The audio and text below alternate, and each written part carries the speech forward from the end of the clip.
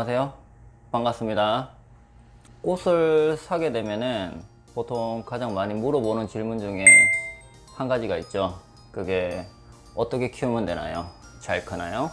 그리고 물은 어떻게 주나요?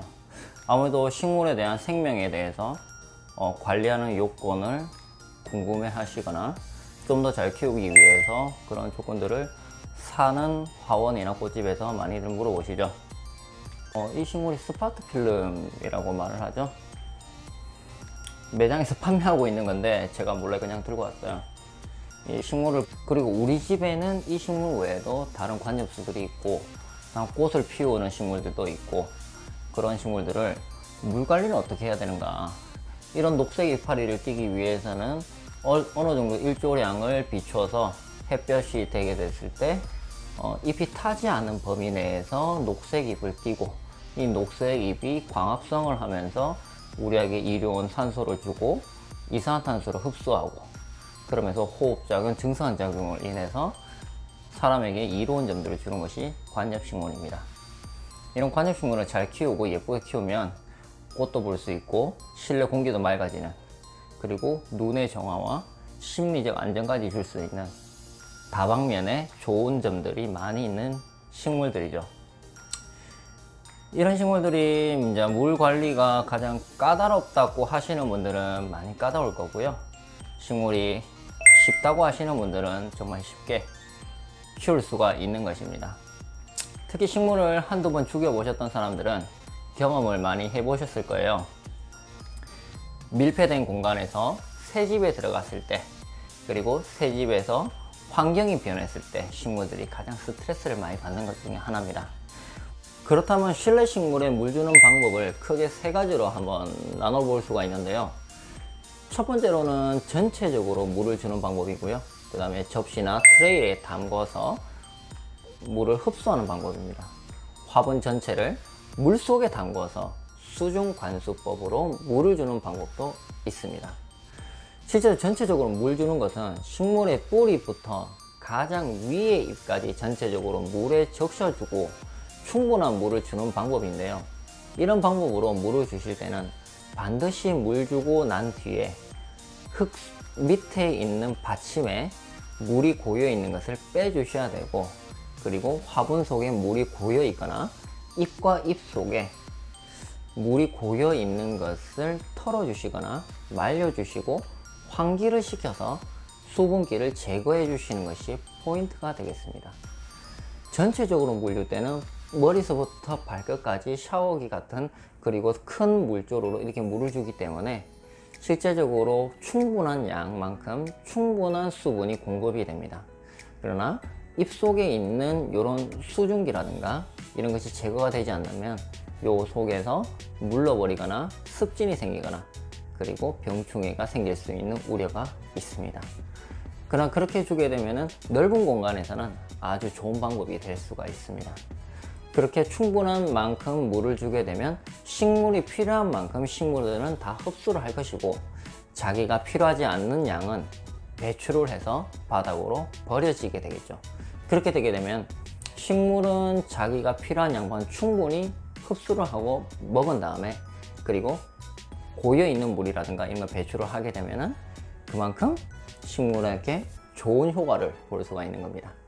그런 주기만큼 꾸준하게 물을 주고 간격을 아까처럼 맞춰주거나 그리고 한 달을 기준점으로 봤을 때 두 번이나 세 번이나 반복적인 학습을 기른다면 식물은 사람에게 거기에 길들여져서 그 방법을 선호하게 될 것입니다. 근데 꼭 그렇게 못하는 식물들도 있죠. 그럴 땐 보통은 이제 접시라든가 트레이 방법으로 뿌리를 담궈주는 방법을 쓰는 경우가 있어요. 시간은 통상적으로는 1시간 정도에서 2시간 정도 넘지 않도록 해주시는 것이 바람직하며 이런 방법의 물주기를 하신 뒤에는 반드시 물이 완전히 빠질 수 있도록 접시나 트레이 물을 비워 주시는 것을 추천드립니다 물을 요만큼 담궈 놨을 때 그리고 수분이 빠져나가고 그리고 충분히 먹었을 때는 물을 버려 주시는 것이 아까랑 똑같이 물 속에서 전체적으로 줬을 때도 마찬가지고 똑같다고 보시면 됩니다 수분이 남아 있으면 그에 따라서 병충해가 발생될 수가 있고 뿌리 습진이라든가 이런 줄기 습진까지도 올 수가 있기 때문에 물을 버리는 것은 필수라고 보시면. 수분기를 남겨 놓지 말라는 거죠.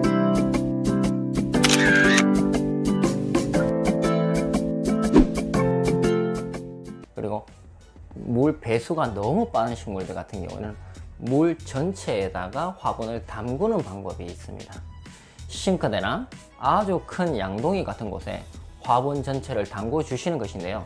몇몇 식물은 성장하는 시기에 이런 식으로 충분한 물에 노출이 되게끔 해주는 것이 좋습니다. 어, 특히라든가 동양란이라든가 군자란이라든가 그리고 뿌리가 굵고 그리고 공중에 있는 뿌리들을 표출하고 있는 그런 식물들이라든가 그리고 화분 속에 특히나 어, 배수 구멍이 많고 마사토가 많이 있는 그런 식물들 같은 경우에는 물을 한번 주고 나면은 배수가 상당히 빠른 식물들이 있어요. 그리고 그리고 성장이 너무나도 급속하고 수분을 너무 많이 요하는 식물들이 있습니다. 그런 식물들은 이런 방법을 쓰면 상당히 좋은 효과를 볼 수가 있어요.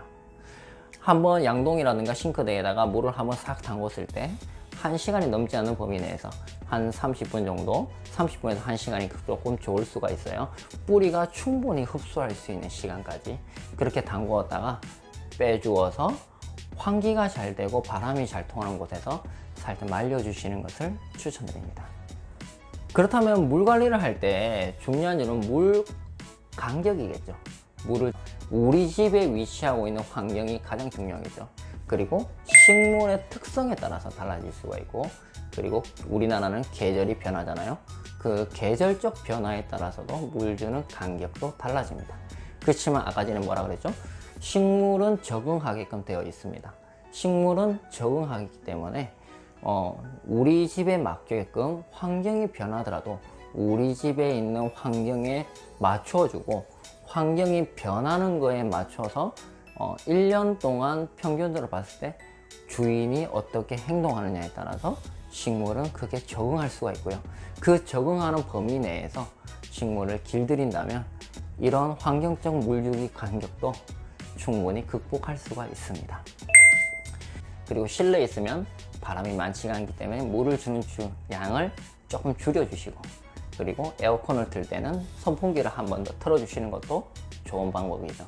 여름철엔 그렇게 하고 겨울철에는 실내에서 난방을 하고 있으니까 그 난방이 되지 않는 곳이나 선반대 위쪽으로 올려놓거나 아니면 확장형 베란다나 베란다 중에서 환기가 잘 되도록 유도해 주시는 것도 나쁘지 않습니다.